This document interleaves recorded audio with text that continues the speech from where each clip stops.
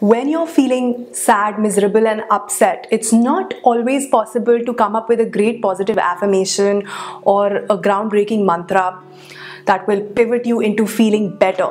But it is certainly possible to come up with at least one positive word. This one positive word can act as an anchor and can totally trigger you into feeling a lot better almost instantly.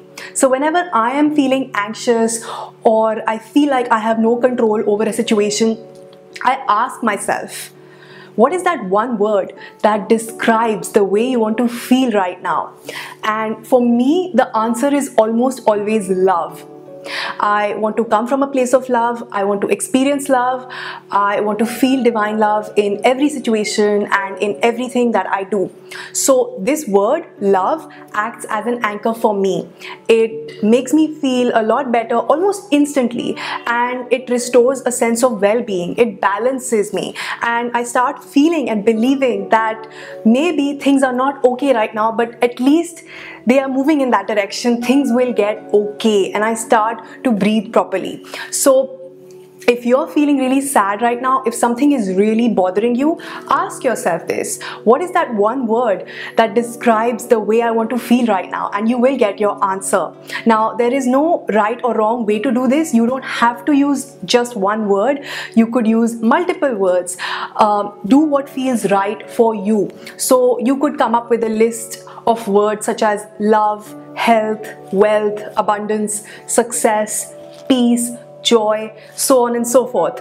The idea is to use highly positive words, and the words should hold a special meaning in your life right now.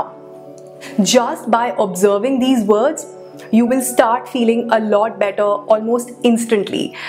You can think about these words in your head, you can say them out loud, or you can write them down. Again, there is no right or wrong way, there is no fixed format to this. Just do what feels right to you in the moment, and that is the best solution for you. I have said this so many times before, and I will keep saying this. The way we feel in any situation is down to two things the language that we use and the thoughts that we think. So, the words that we use influence the thoughts that we think, and eventually, it influences the way we feel. If we use better words, we will have better thoughts, we will feel better, and eventually we will do better. It's as simple as that. And I keep saying this because I feel like this is one of the most important lessons that we all need to learn right now. So now I want to hear from you. In the comments down below, let me know what are your favorite positive words or what is your favorite positive word.